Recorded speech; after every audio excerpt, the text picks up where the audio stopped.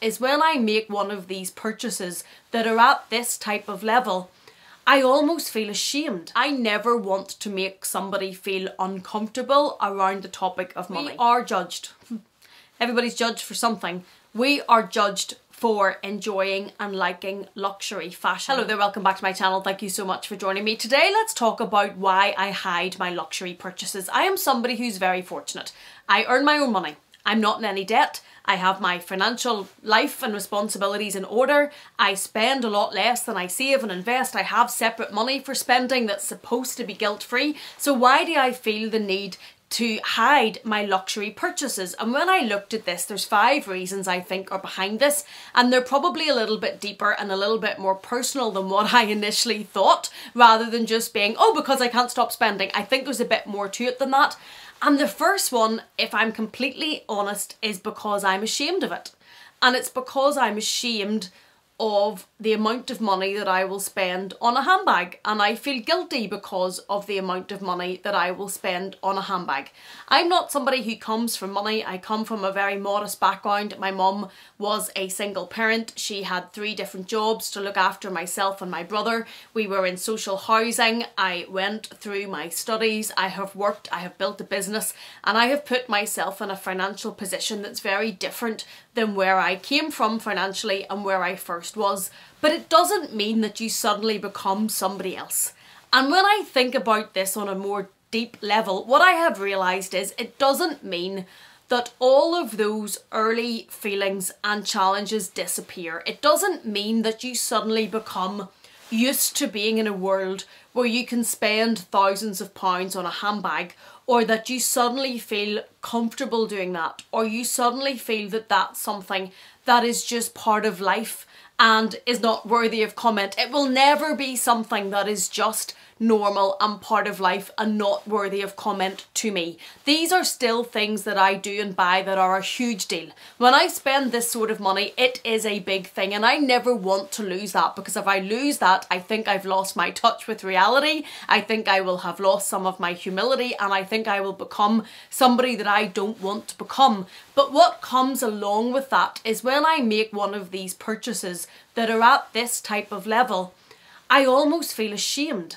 because where I came from, physically, emotionally, financially, all of those things, you wouldn't have countenanced or even considered spending this amount of money on a handbag, for example. You would never have dreamt that you would spend that sort of money on something so frivolous and so materialistic and so superficial as a handbag. The sort of money that we're talking about here meant something hugely different back then. It would have been for something hugely different. So for me now to go out and spend the sort of money that I spend on these bags, when I peel back the layers of that and why I sometimes hide it, even from myself, why I sometimes leave them in the corner unboxed, not boxed even, not unboxed, because I I'm almost putting off from myself the fact that I've bought them. At any one time, there's bags in here. There's bags in here now that I haven't unboxed. I haven't shared them with you, but I also haven't even shared them with myself. They're still in the boxes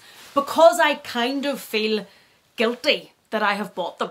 And I kind of feel ashamed that I have bought them. Whenever I bought one not that long ago, or I spent money not that long ago, I kind of I'm ashamed that they're sitting there, so they stay in their box. So I hide them from myself. I hide them from my husband, and there's no need to do that. But I have an account that I put separate money into for my frivolous spending that is for me to spend from guilt free. So, where is the guilt free? I still feel guilty about it. I still feel ashamed about it. I hide it certainly from my mum, from my family. I hide this channel from my mum, from my family, because part of me feels ashamed that I spend this sort of money on this sort of thing. And part of me feels that if they were to see it, I would feel guilty and that I needed to crawl into a little ball because I'm spending all of this money on something that's so ridiculous to so many people. And I just, I, I don't know if that will ever go. I'm 41. I've been shopping a long time. I've owned a company for a long time. I've been in a far different financial position for a long time. I've been able to buy these bags for a long time. I've been collecting them for over 10 years and I still get to the point where I'm ashamed of having bought them. I still think that it's almost like a dirty little secret that I would enjoy spending that sort of money on a handbag. I still think that's something that has to be hidden.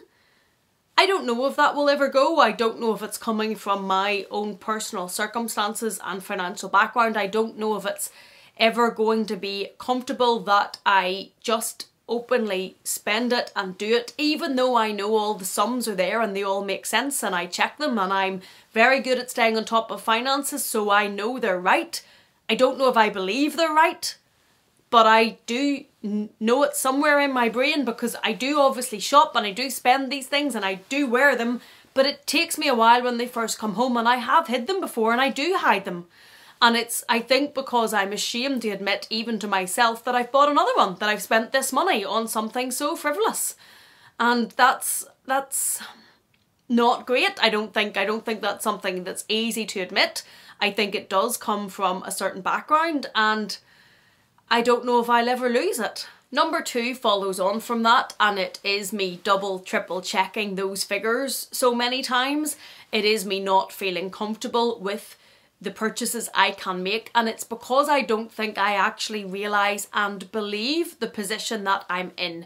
I think part of me will always be that young girl who was struggling to pay car insurance and to scrape together money for a car and that had thousands and thousands and tens of thousands in student loans and in graduate loans, who couldn't afford to get somewhere to live, who had to move back with her mum, who scraped together month by month, who could uh, hardly afford to travel to get to work.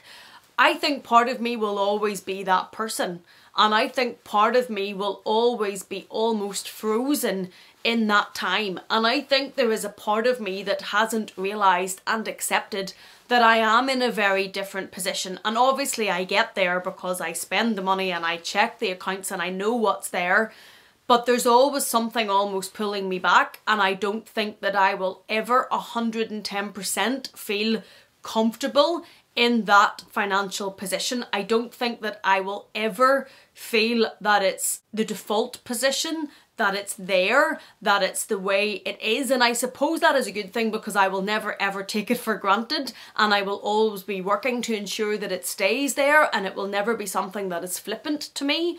But I don't think I'll ever get to the point that if you're someone who grew up in wealth and grew up with financial comfort around you, that you will take that for granted and that you will feel that that is just the way things are. I think for me, I will always have that doubt and struggle to accept that I'm in the financial position that I'm in. I remember when I first started looking at Louboutin shoes, my husband saying to me in Manchester about a particular pair that I loved, and I was saying to him, but I can't spend £825 in a pair of shoes. I can still remember exactly how much they were, even though this is years and years and years ago. And he was saying to me, but yes, you can. You can.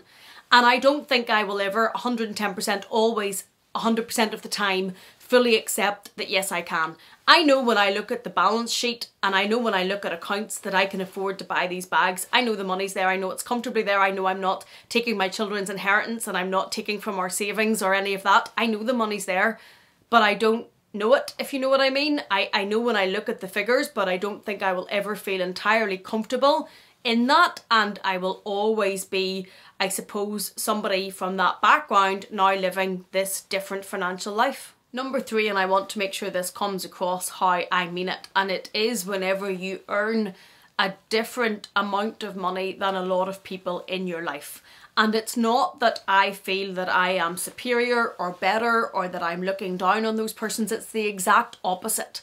I never want to make somebody feel uncomfortable around the topic of money. I never want to seem as if I am being, oh, look at her and all of her bags. I never want to seem as if I am being, oh, look what I earn and look what I can buy. And there's videos going around at the minute that poor people hmm, buy luxury to look wealthy and to look rich and it's for me the very opposite. I don't buy these things to be in my social circles and feel that I'm above you or I earn more than you or I'm the wealthy person in the room because I can buy these things. I, I feel uncomfortable with that and it's the opposite of that. I never want somebody to feel that I am being like that or that I want to make them feel, or I have even inadvertently made them feel like that. I never want somebody to feel there is a difference in our earnings. I never want someone to think that I'm showing off. I never want someone to think, look, I'm showing you what I can afford to buy. It's why my friends, my family, and my real life don't know about this channel. They surely know that I am interested in handbags and they'll see the handbags come around. But I don't tell them about this because I don't want to look like I'm being look at me in all of my bags. I don't want to make other people feel uncomfortable. I don't want to highlight where there is a difference in earnings that that difference is there and I never want to make somebody feel that that's a thing. I don't want it to become a thing. I don't want it to become an uncomfortableness. And the flip side of that is that I then hide the luxury that I buy. I hide my bags, I hide things. I don't bring them to certain places or I don't show them and it's it's because I never want to make somebody feel that I think that this puts me any different than anybody else.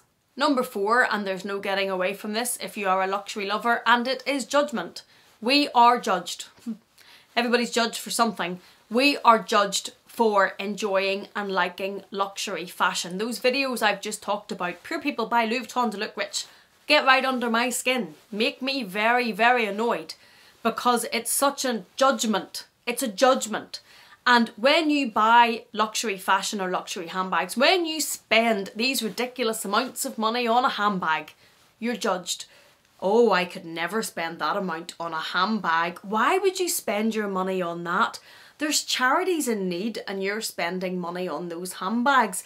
How can you possibly spend that on a handbag? Oh, that's okay for you, but I could never spend that on a handbag. We hear that all the time. All the time. It is a form of judgment and it's not very nice. You don't know me, a lot of those people. I support a lot of charities on a monthly basis.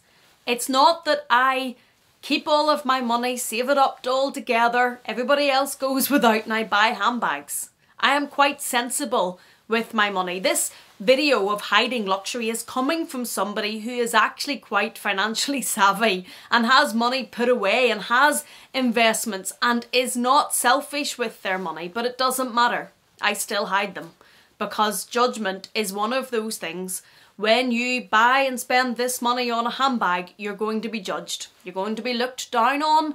People are going to include you in one of those videos without even knowing it. Oh, they're trying to look like the richest person in the room. Oh, they're a caricature, caricature of the rich. Oh, they're a stereotype of the rich. Oh, look at them trying to, they clearly are overcompensating for something, clearly don't belong buying all those labels. You are judged.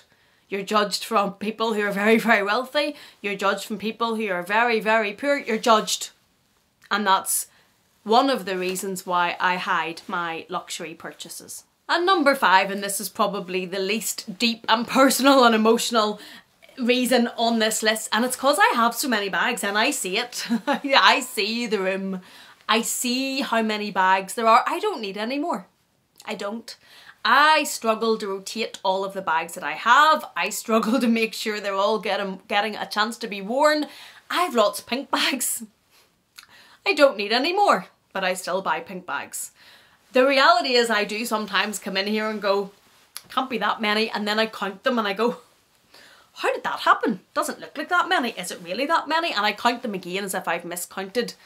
I have a lot of bags. I do have a lot of bags. I don't need any more bags, but yet I still buy bags because I love them.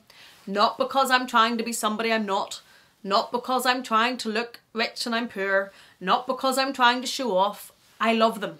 I love these bags. They bring me a lot of joy and happiness. I will come into this room and sit in this chair and just sit here. I don't even bring a book and I read a lot. I just come and I sit here and I will light a candle and I'll put the lights on and I just sit and I be at peace and I be very happy for the five minutes before my children find me to come and play with more Lego. I just sit here. They make me very, very happy, but I know that I, I have a lot of them and I don't need any more. So sometimes when I bring them home and I think I've just bought another bag, I've just bought another pink bag. I sometimes feel that, look at the numbers and go, oh, I can't open that yet. I just can't, I have, I have to put that away. I have to just hide that one until I settle down and accept the fact I've just bought another one. Coming on from that slightly, and I didn't have this on the list, but another reason I will hide them as well is if I've gone through a period where I've bought a lot in a short period of time. If I have seen uh, say, for example, three or four different pre-loved bags have come up and they're like bags I've been chasing down or on my wish list or bags that I've always been looking for and I buy them together in a short space of time. I'm still not comfortable buying three and four of these types of bags in a short period of time. So I will hide those and almost ration them out to myself. I know I hear it. Crazy. But I will almost give them to myself once every so often because I feel like I've bought too much in a short space of time and that's another reason why I will hide some of them. Do you do this? Are you entirely comfortable with your luxury purchases? Do you just own them and love them and accept it and don't care what anybody thinks? If if you have that, how do I get that? If you do be like that, please come into the, the comment box and tell me how you deal with it. Do you hide them? Do you not? Are you comfortable? Are you not? Do you some sometimes feel some of these five factors that I'm talking about or do you have you just accepted it? Please come into the comment box and share where you're at with me. I would really enjoy reading those. If you have any tips for getting more comfortable, I would also really enjoy that. Thank you so much for watching me. If you have enjoyed this, please do give it a thumbs up. If you have enjoyed it, please do consider subscribing. And if you're not done with me yet, I'm going to leave another video for you on the screen. Thank you so much for being here. Please take care and I will see you again in the next one.